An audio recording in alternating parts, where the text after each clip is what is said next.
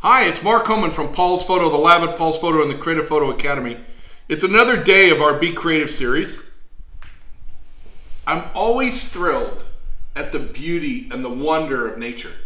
And I came home from work tonight and I was out in the backyard and it's kind of the end of camellia season and the camellia blossoms are falling off the tree. And I was stuck, struck by the beauty and delicacy of this little bloom. And look at the folds inside here. Look at the detail. So what did I do? I brought my macro lens in. So I've got the Nikon Z7 II with the 105 millimeter macro, one of the Litra Pro torches with the softbox on. So in this case, what's important to me? Number one, the lighting. I've got this beautiful soft light coming in from the side, illuminating the petals. And if you come in closer, Look at the beauty of the petals. Look at the shape that that makes. And if you come right around and look, look in here on the flower, you can see that shape and what we're trying to capture with the macro lens. So what have I done? I've come in close. So I've got my macro lens at the minimum shooting distance. You can see I'm about six inches away from the flower. I've got the light very close to make this beautiful soft light on it with the softbox. And it almost looks like a smile. And that's what I wanted. So if you come in close, come on up close, right? So I'm going to put the focus point right there. And you see how it glows green when it's in focus? You can see it 1 800th of a second at f5.6. And if it, if it, at f5.6, I've got a very narrow focus. And I think that's the one I'm going to like.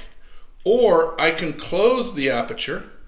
I'm going to go to f16 gives us a hundredth of a second. I'm going to touch focus on the same spot right there.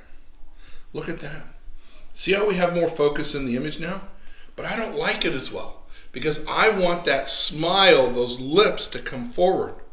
Reminds me of a George O'Keeffe painting. So once again, I'm going to go to f5.6 as far as the lens can open in a close-up like this. And I'm going to touch focus right there and that's awesome. Look at that beautiful velvety softness. Now, I can even pull back because I've got the macro slider on. I can pull back just a wee bit and get a little bit more detail, a little bit more of the smile in the picture. That's too much, right? I want to come in right about there, adjusting the ball head just like that. So that's why it's important to be on a tripod with an image like this to get what I want, I have to be able to control precisely what I'm seeing. Right there.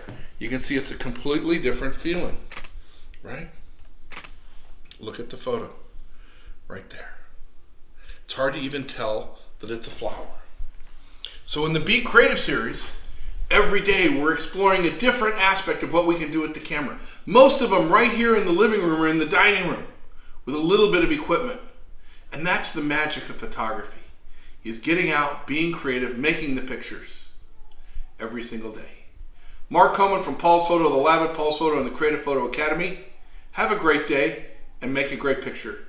We'll see you tomorrow for our next episode of Be Creative.